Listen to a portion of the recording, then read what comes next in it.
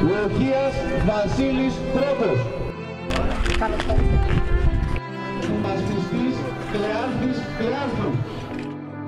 Έξι χρόνια μετά την 11η Ιουλίου του 2011 ήταν όλοι εκεί για να τιμήσουν αυτούς που έλειπαν, αυτούς που έπεσαν ηρωικά εν ώρα καθήκοντος.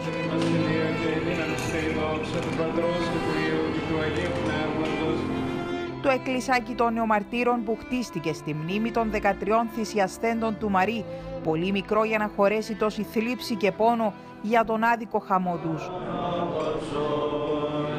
Το μνημόσυνο τέλεσε ο Μητροπολίτης Τριμηθούντος Βαρνάβα στην παρουσία του Πρόεδρου της Δημοκρατίας Νίκου Αναστασιάδη, αρχηγών κομμάτων, συγγενών και φίλων των 13 θυμάτων. Πιστή στην υποχρέωση να αποδίδουμε τις τρέχουσες τιμές σε ανθρώπους που θυσίασαν τη ζωή τους εν ώρα καθήκοντας, αποτείουμε και φέτος κορτιμής και ευγνωμοσύνης στους 13 αρδικοκαμένους ήρωες της ανίποτη τραγωδίας της 11ης Ιουλίου του 2011.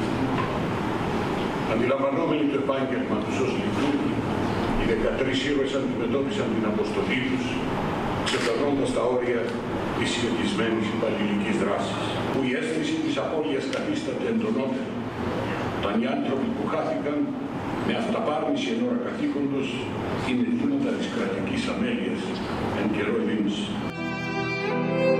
Έξι χρόνια μετά και το κενό για τις συζύγους, τους γονείς και τους συγγενείς των ηρώων παραμένει δυσαναπλήρωτο.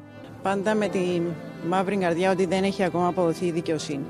Δεν περιμένουμε βέβαια να αποδοθεί τώρα έξι χρόνια μετά. Επικεντρώνουμε όλες μας τις δυνάμεις για αυτόν τον ιερό χώρο, για αυτόν το εκκλησάκι που είναι αφιερωμένο στους Κύπριους νεομάρτυρες, που είναι θεμελιωμένο πάνω στις σάρκες, στα οστά, στο αίμα των αγαπημένων μας ανθρώπων.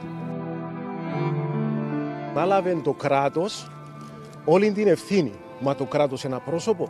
Είναι και άτομα τα οποία εδιοικούσαν το κράτος. Μετά το πέρας της τελετής ακολούθησε προσκλητήριο πεσόντων και κατάθεση Στεφάνο στο Μνημείο των Ηρώων.